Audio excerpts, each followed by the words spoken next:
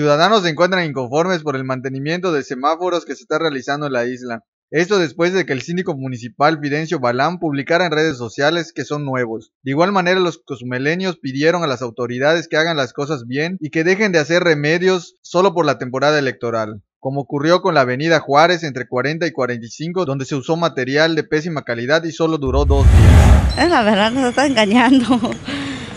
Sí, sí. siempre, siempre nos ha, engañado. Siempre dice que va a hacer algo y nunca lo hace. Ahí por la 90 hay muchos baches, siempre dijo que lo iban a, componer y hasta la santa fecha ahorita no lo han vuelto a componer. No vale, no vale ni tirar su voto por ella. Pues la verdad no se está gastando dinero porque solo se está pintando, no se está, no se está quitando desde, desde el poste para volverlo a hacer. De que van a funcionar, van a funcionar, pero pues si son nuevos van a aguantar también como que si son usados, enseguida andan para abajo. Los están pintando, yo desde la mañana estoy aquí, veo que los están pintando.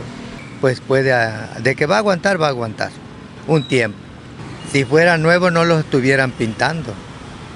Si fueran nuevos no los estuvieran pintando, porque yo desde que estoy aquí siempre veo lo mismo y lo mismo. Pues sí, porque pues ahora sí que ellos prometen, ¿no? De que pues compran cosas cuando pues en verdad nada más le, los detallan y así, o sea, pues ese dinero pues ya se queda para ellos, más que nada.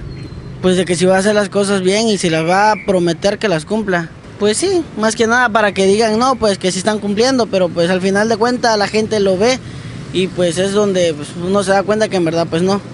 Bueno, que no está bien, no está bien lo que están haciendo, pero pero no sé por qué lo están usando así, a esa forma. Sí están engañando al pueblo, no sé cómo lo hacen ellos, pero sí están haciendo mal, mal trabajo ahí ellos, ¿verdad? Sí, exactamente, que no nos vean la cara, sí, así es. Con imágenes de Ariana Araujo, informó para Canal 10 Benjamín Carrillo.